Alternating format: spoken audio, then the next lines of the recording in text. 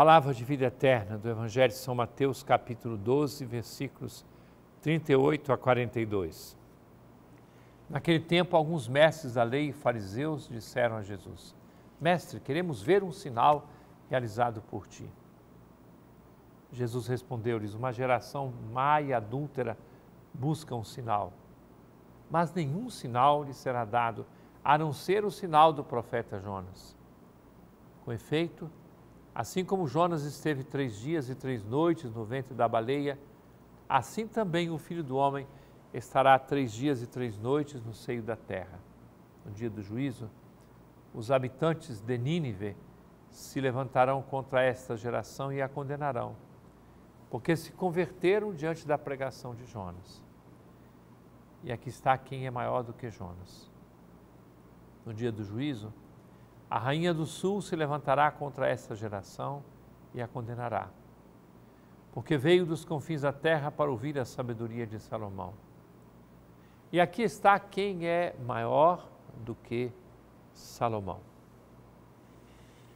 Querido irmão, querida irmã, nosso Senhor não é um operador de marketing, nosso Senhor não é um técnico, não é um artista dos meios de comunicação para aparecer, para fazer furor. Você não vai encontrar um milagre que Jesus tenha feito para fazer espetáculo. Queremos ver um sinal. Esta é uma provocação negativa, pesada, destruidora, que não é aceita por Jesus. Se nós queremos ir atrás de milagres, não entendemos nada do cristianismo. O grande sinal do cristianismo é Jesus morto e ressuscitado, que atua em nossa vida. Ele pode fazer milagres? Sim, e faz muitos. Mas não para satisfazer eventuais interesses egoístas de quem quer que seja. Jesus faz milagres para servir, para amar, para fazer o bem para transformar o coração e a vida das pessoas.